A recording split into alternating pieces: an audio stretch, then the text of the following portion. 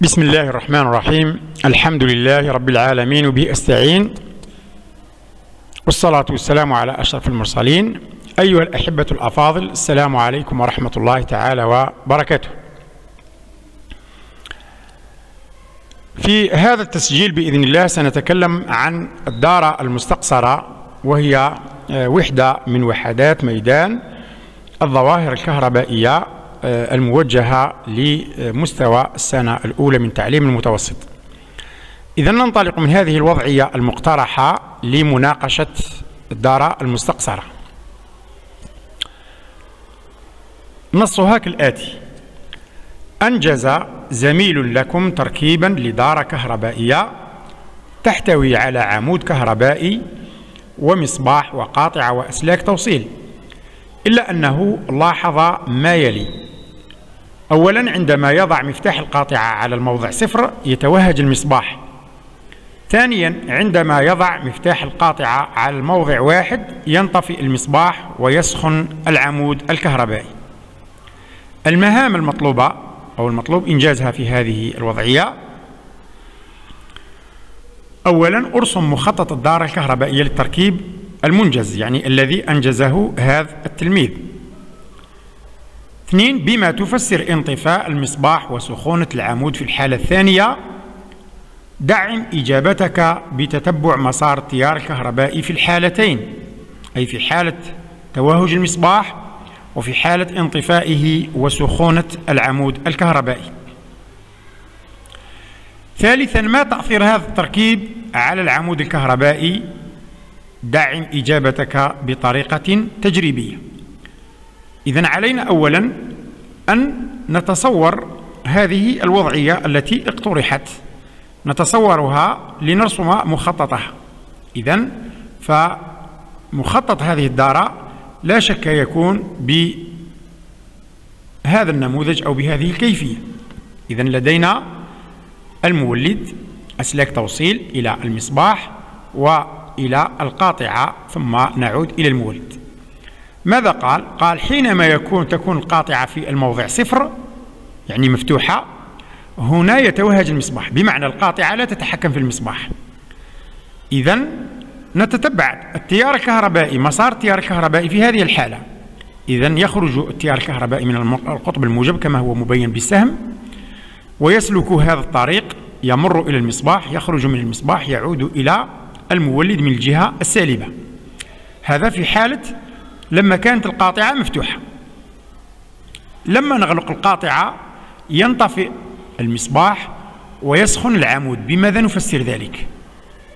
إذا في الحالة الثانية هكذا فعلنا. غلقنا القاطعة انطفأ المصباح سخن العمود الكهربائي. لأن في هذه الحالة ماذا يحدث؟ انطفاء المصباح يدل على أن الكهرباء لا يمر فيه. لماذا لا يمر فيه الكهرباء؟ رغم أنه موجود في دارة يبدو أنها مغلقة. إذا ببساطة أن الكهرباء في هذه الحالة وجد مسلكا أو طريقا أسهل من المصباح.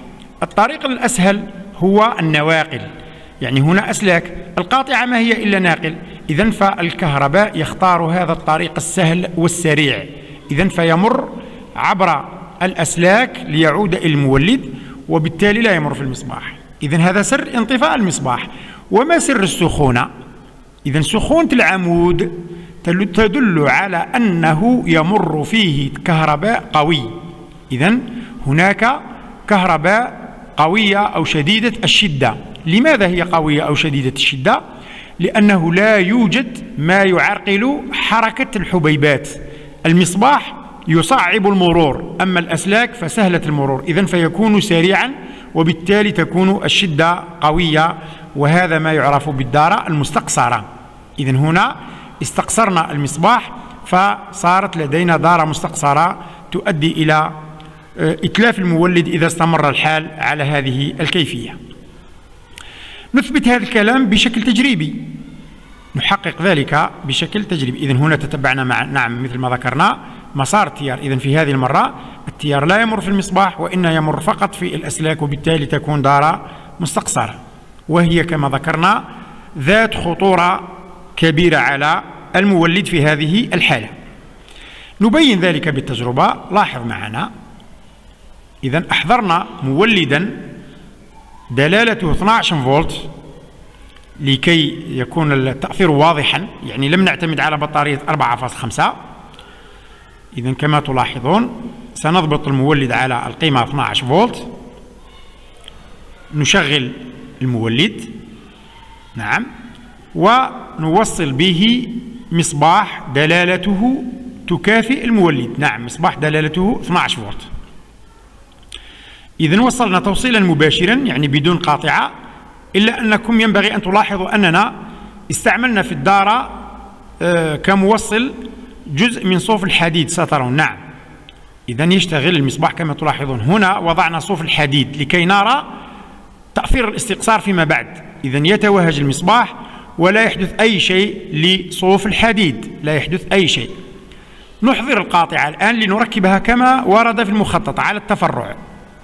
إذا سنضع القاطعة على التفرع مع المصباح كما تلاحظون. إذا وضعنا القاطعة ونلاحظ ماذا يحدث عندما تكون القاطعة مفتوحة وعندما تكون مغلقة. إذا وصلنا نتمم الدارة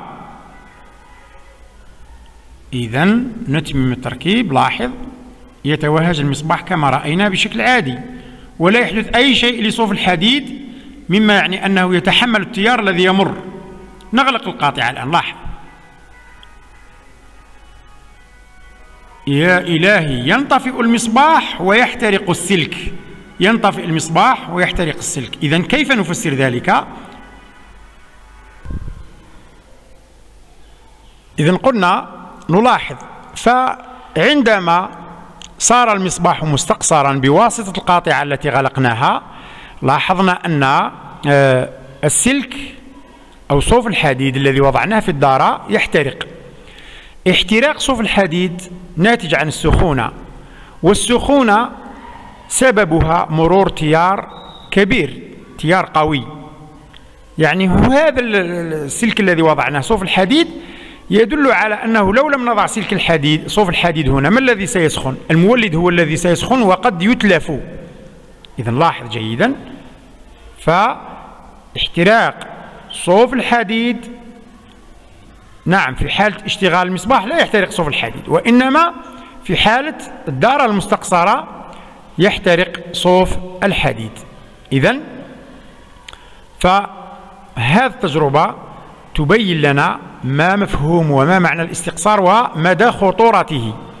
فحدوث الاستقصار في دارة كهربائية يكون خطرا على المولد قد يتلف المولد. إذن هذا بالنسبة لمفهوم الاستقصار ومتى يحدث. يعني من خلال التجربة تفهم بأنه متى يحدث الاستقصار.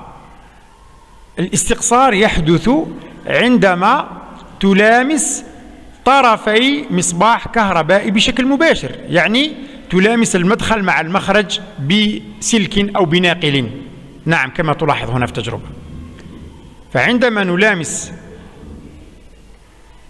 طرفي المصباح نعم بشكل مباشر بواسطة ناقل أو سلك يؤدي ذلك إلى استقصاره. ما معنى يؤدي إلى استقصاره؟